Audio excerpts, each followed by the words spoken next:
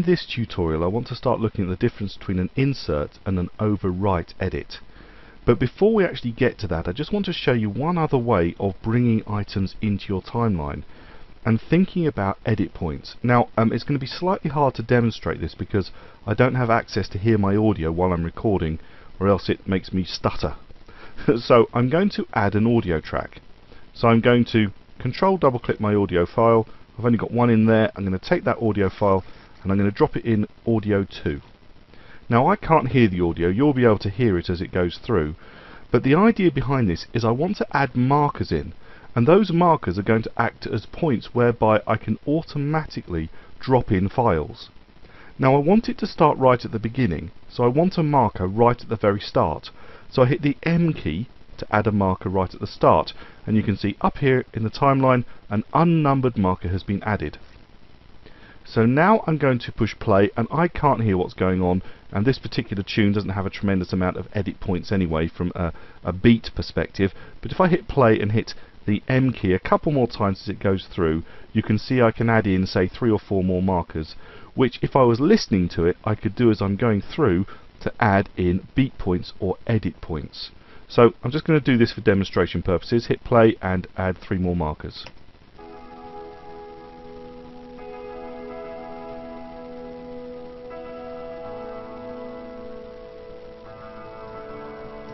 Okay, I'm going to stop at that. Now, it's worth saying that editing to the beat, if you have actually put your markers on the beat, is quite a powerful way of editing. It's where people expect the edits to take place. And if you don't actually edit on the beat, but you're slightly off the beat, it can make people feel a little bit uneasy, or as if something hasn't been done quite right.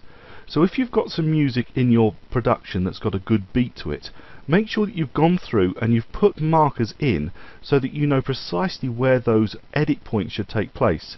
So that when you do a transition or you do a change or you've got a cut, it's where people expect it to be. However, if you've got a horror movie or something that you want people to feel uneasy about, then make sure you don't edit on the beat. But also don't edit off the beat at a regular point. Make sure you edit in sort of a front and behind and all over the place so that it's not regular. Okay, so now I've got my markers in here, I'm going to go back up and I'm going to control double click, command double click on the Mac, the video files, double click, and open those up. And I'm going to choose four or five files. So I'm going to start off with Soft C Focus, so hold my control key and just choose four clips. Those four clips will do. Now, I showed you before that we've got this little button down here which is automate to sequence. Let's have a slightly closer look. Firstly it says how are we going to order these? We're going to go in the selection order. Well that would suit me, the order I selected them would suit me just right. However you can have them in the sort order which is the order in which they are in this panel. And bear in mind of course you can actually physically grab and move around these clips to get more of a storyboard so that you can put them in the order that you actually want them to go when you create a storyboard. And placement, you can either go in sequentially, so one after the other after the other, and just cut at appropriate places, or they can actually cut at unnumbered markers, which is exactly what we want. And then overlay edit, well we're going to be talking about the overlay or the overwrite options very soon, and also the insert edit. Now, very briefly, an insert edit will cut something if it's already there, and put itself in the middle, and then the rest of it's there afterwards, whereas an overlay edit or an overwrite edit is literally going to cover over what's already there. But we'll see more of that in a moment.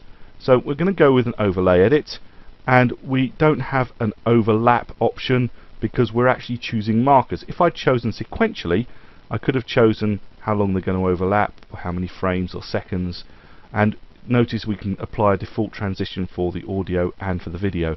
But seeing we're going for the uh, numbered markers, we don't have those options. They're greyed out for us, so if I make sure my current time indicator's at the beginning and I click OK, you'll see, if I zoom in here, that I've got edit points here, here, here and here going where I put the individual markers on my sequence because these are sequence markers. So if I hit my spacebar to play,